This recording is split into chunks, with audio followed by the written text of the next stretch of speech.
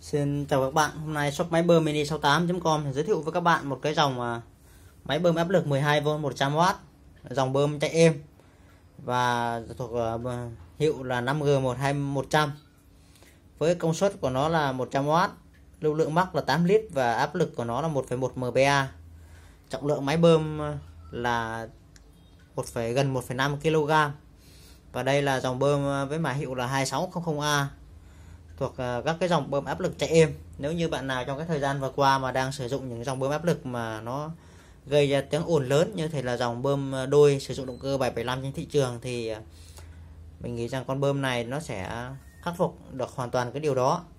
Và cái điều quan trọng nhất đó là motor của dòng bơm này nó kích thước lớn thiết kế rất là chắc chắn này, này nên rất là bền.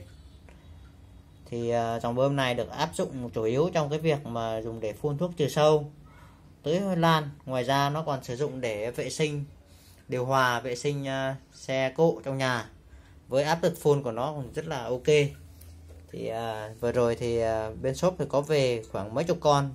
Loại bơm 12V 100W mà hiệu này và được rất là nhiều bạn sử dụng à, rất là ờ, ưng ý. Sau đây thì à, shop sẽ test hành là test áp lực của máy bơm đối với một chiếc súng phun xịt rửa điều hòa xịt rửa xe chuyên dụng này. À, hiện nay thì shop đang sử dụng một cái nguồn à, tổ ong 12V để test với máy bơm. Thì à, trước khi mà shop thử áp lực thì shop cũng giới thiệu với các bạn đó là cái cách sử dụng đối với dòng bơm này. Thì đối với dòng bơm này thì yêu cầu là các bạn phải kết nối đầu vào làm sao thật là kín nước. Nếu như các bạn để hở không may hở những cái mối gen này này hoặc là hở ống lỏng ống hút vào nó lỏng thì máy bơm nó ra nó sẽ yếu đi rất là nhiều. Và khi đó là hiện tượng, máy bơm nó sẽ có hiện tượng là bị rung.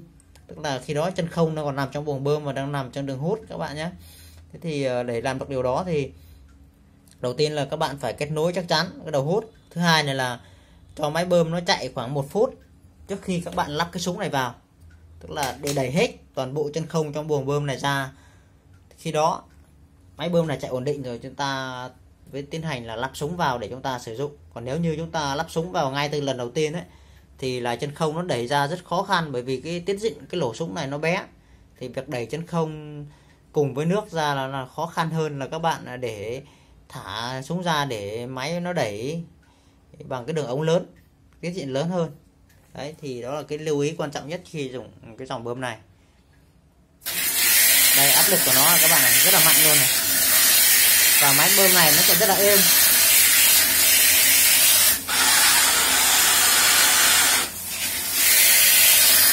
Con này là áp lực khá ok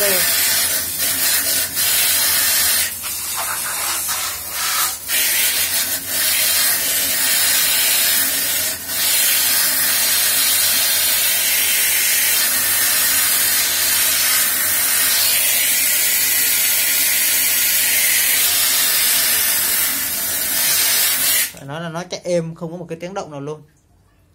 Đấy, thì về nó chạy rất là bền. Cái bùng bơm của nó ít khi bị nổi bị nổi lắm các bạn.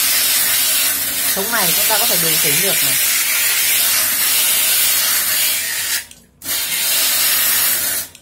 đấy, rất là vận hành rất là ok luôn.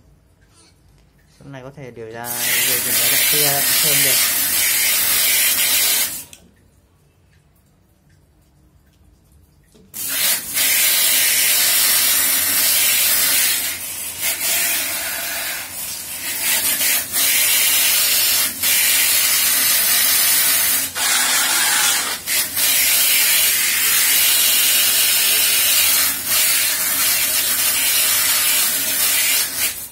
Và con này thì có thể dẫn xa tối đa là 100 mét ống 150 mét ống các bạn nhé.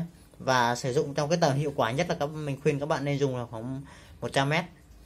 Còn nếu như ờ, 100 mét 50 mét hay 200 mét thì nó vẫn đi được thôi. Nhưng quan trọng đó là chúng ta muốn ờ, sử dụng hiệu quả nhất và trong cái tầm full, với cái cần full 5 mét thì nên sử dụng khoảng 100 mét.